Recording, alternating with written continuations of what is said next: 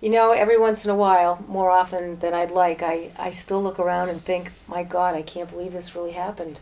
It is still surreal to me.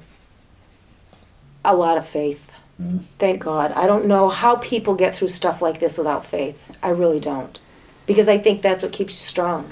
There was the head of our herd standing over, you know, this body because he was responsible for him. And it was just very, in a way, touching. Stress has been phenomenal. Yeah. And we're always in different directions. Right. We're like ships passing in the night. We're always working, and then by the time we come in, it's dinner, we're exhausted, whatever. We haven't had time together. Well, there's no routine yet. We're still, you know, living in a trailer, living like we're camping.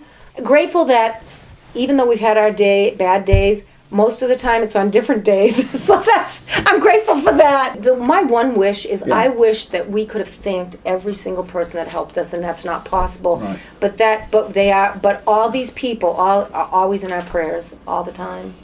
Uh, but I will tell you, the most important thing is not your insurance company, your agent. Agent. That's the person who can fight for you. Yep. All the insurance companies have the same laws, abide by the same laws, have the same rules, coverage works the same way. The person who you want in your corner is your agent. Make sure Make sure you have a good agent. you bet your life. Basically, the role of, Fe- of FEMA is to coordinate volunteer efforts. Right. I wanted to crawl through the television. I know. They didn't do anything.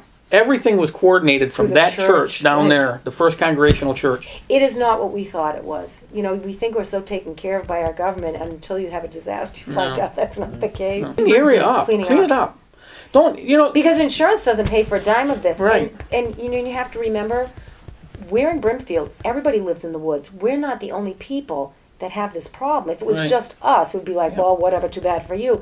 But you've got people all over this 39 mile path, maybe not in Springfield, but in Monson and, and, and other places that are, are in the same situation that we are. They'll never be able to clean their land up in their lifetime. It wasn't. wasn't that. Yeah, and it wasn't a considering there's question of it. 39 miles of this, Yeah. Yeah. wouldn't you think the state would say, you know, we just can't leave these people at risk like this? Because if this, if that had spread further and houses started catching and everything else, I mean, Let me tell you, I, I really did get irritated because they spent they sent a lot of resources down to the Brimfield State Forest. I mean, being the homeowners are what drive this thing.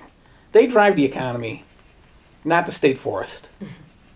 And to, to go take care of that before they step in and help the, the individual home, homeowner or and anybody that came through this tornado, I mean, come on, give me a break. and it's still a risk. There's still 39 miles of trees on the ground. That- That risk is not over. No. It's a match, a lightning strike, anything. That's not the last fire. No. I'm sure of it.